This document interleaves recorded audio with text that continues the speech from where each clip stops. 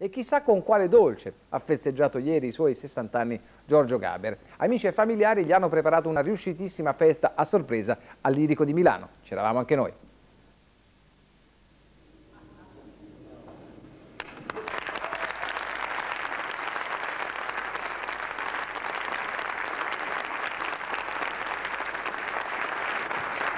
No, non me lo aspettavo assolutamente. Io dovevo andare a mangiare con i miei, con mia moglie e mia figlia. Eh? e mi sono trovato questa cosa enorme, bellissima, sono molto contento, veramente, 60 anni una Che cosa gli aveva detto? Andiamo a mangiare a un ristorante, quindi io non sapevo, dicevo un ristorante nuovo, molto carino. Ho cercato di rassicurarlo perché era un po' diffidente, diceva ma perché dobbiamo andare a mangiare là? Ma poi che ristorante è che non lo conosco? Ristorante grande, non mi piacciono i ristoranti grandi.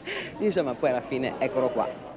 Questa è un'idea di Paolo Dalbon, che è l'organizzatore degli spettacoli di mio papà. Eh, però anche la figlia. buona. Sì, diciamo che ho contribuito sulla tempistica. Ho dato una mano per quello che potevo, ci siamo sincronizzate con i telefoni con mia mamma. Io avevo detto che voleva che io stessi vivo per potergli dare sempre del cialtrone dal titolo sul giornale.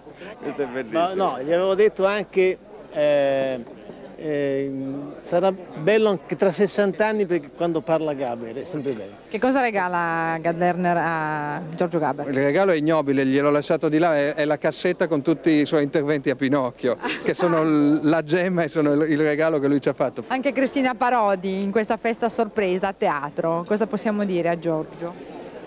Ma di, di, passare altri 60 anni così meravigliosi, di regalarci ancora tante emozioni come ha fatto. Eh, credo che sia veramente uno degli artisti più profondi ma nello stesso tempo più simpatici che ci sono, che abbiamo in Italia. Fra gli invitati anche Giorgio Gori. Io sono eh, un grandissimo ammiratore di Giorgio. Poi ho la fortuna di lavorare con Dalia che è sua figlia. È l'uomo più dolce e più intelligente che abbia mai conosciuto e che ha la voce più erotica? Continui a volare alto, aiutando le persone con la sua arte a passare dal confine all'orizzonte. Questo è l'augurio che gli ho sempre fatto e che in questo momento in particolare gli dedico.